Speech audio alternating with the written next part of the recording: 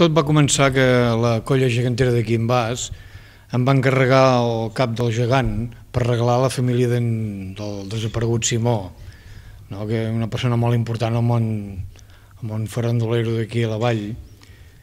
I va ser quan, eh, després parlant amb l'Ajuntament, vam, vam dir, home, ja que, fa, ja que faig l'original, podíem... Jo sempre havia treballat original, no havia fet mai rèpliques, i menys així en petit.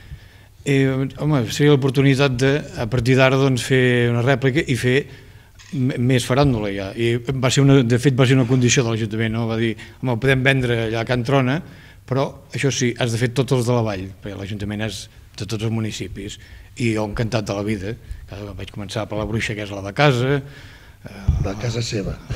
La, la casa del Maiol, i, i llavors he anat fent, ara estem fent el, el, de, dels hostalets i ja pendent el de Jonetes.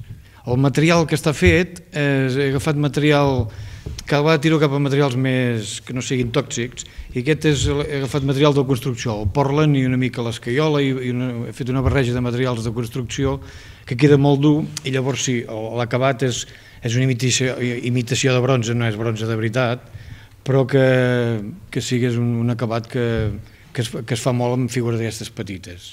Eh, per dir d'alguna manera també és eh, la, la penúltima, perquè mai és l'última aportació de, també, del, com ha dit molt bé l'Àngel, de, del nostre estimat Simó, que malauradament ens va deixar de sobte, i mira, eh, eh, diguéssim, inspirat amb aquesta demanda, com molt bé explicat, podem fer tota la vall.